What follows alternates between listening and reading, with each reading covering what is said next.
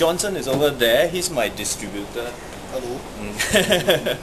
um, uh, today is the first day that I get my book and it is freshly printed and it's a big stack over here and um, I can tell you I am very happy with the results. It is wonderful. Oh, you should see Janice, my printer. Um, anyway, look at the book, book pages. It's, it flips beautifully and um, and it will be available at Suntec um, this weekend 28 29 okay Saturday is 11 a.m. to 9 p.m. Sunday is 11 a.m. to 8 p.m.